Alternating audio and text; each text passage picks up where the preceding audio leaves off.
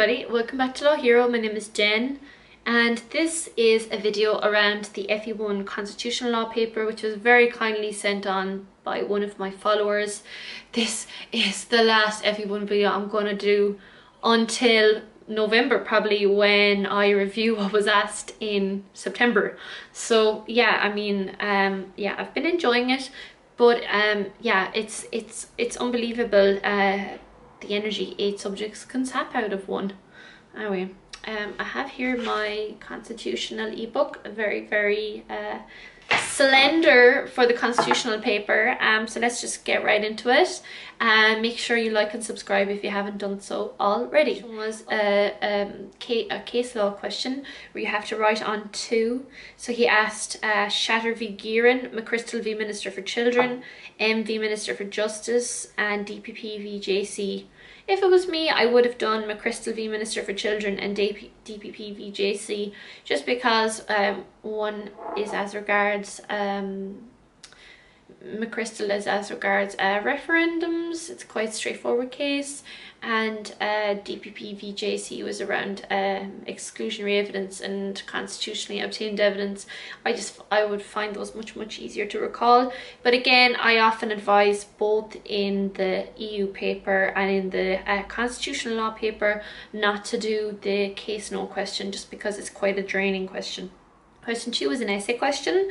Compare and contrast the approach to Article 15 of the Constitution adopted by the Supreme Court in Leontjava v Minister for Justice and in O'Sullivan v Sea Fisheries Protection Authority.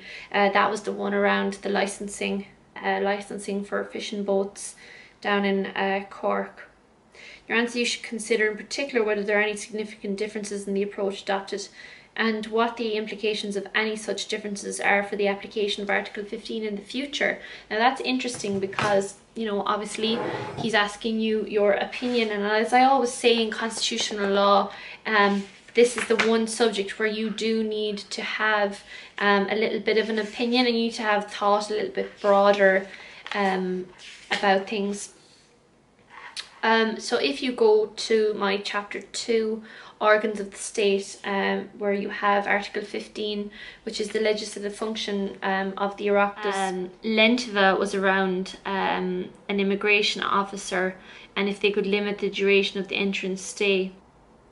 This was ultra vires, the legislation, because the, the legislation said nothing about the duration of the stay.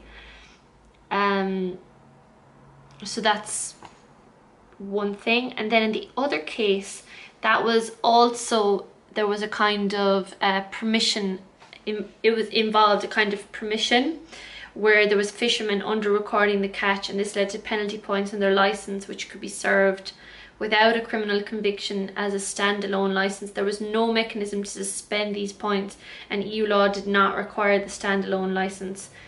The question was whether the minister had extra legislative function in creating the court acknowledged that within the EU legislation there was some scope for implementation Principles and policies in peer legislation are to narrow the scope so that the powers of the particular authority are not unlimited and as such give guidance to the decision maker. Here the only thing was discretion of member states was the process by which the points would be allocated.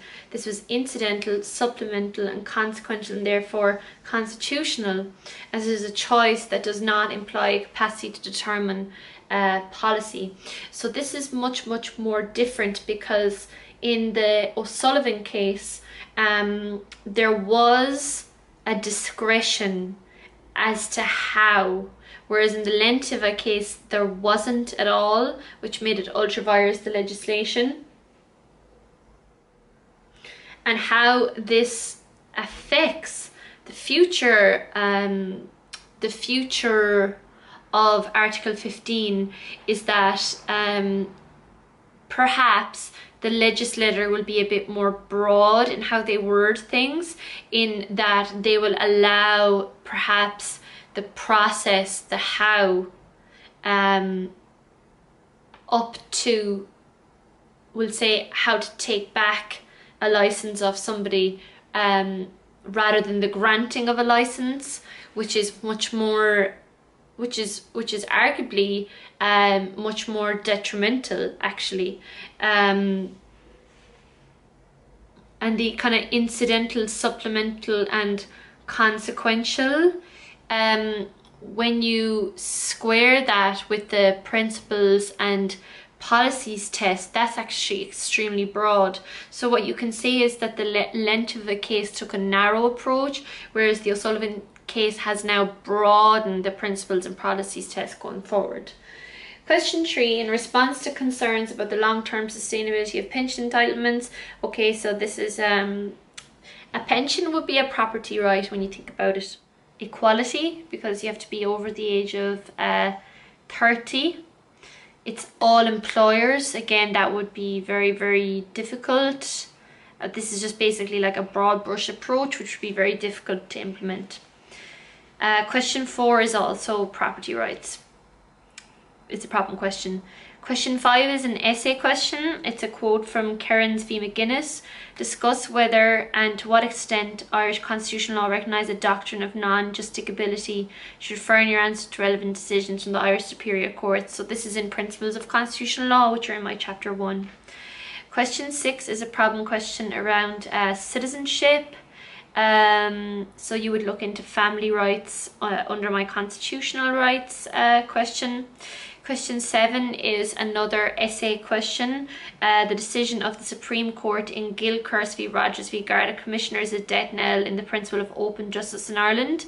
When you hear open justice, think of Article 34.1 that justice should be administered in public. It's just an essay question on that.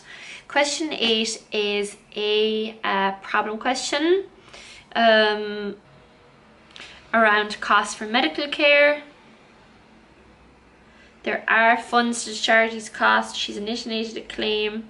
Before her case is heard, the Oireachtas enacts the capping of insurance costs. So this is a conflict between um, the legislator and the courts, and I have a lot of case law around that and the separation of powers as to constitutionality. So yeah, it was a tough enough uh, constitutional paper. Um, but if you had read my ebook, you would have been fairly well um, sorted. Um, I think the essays were much, much easier than they usually are. Problem questions were standard, but they were, there was, you know, two of them were fairly similar, I would have said. Three and four were fairly similar around property rights. So yeah, if you have any questions, please email me at info at lawhero.eu. Please follow along at, at lawheroirl on Instagram. And I'll see you in the next one. Uh, please like and subscribe.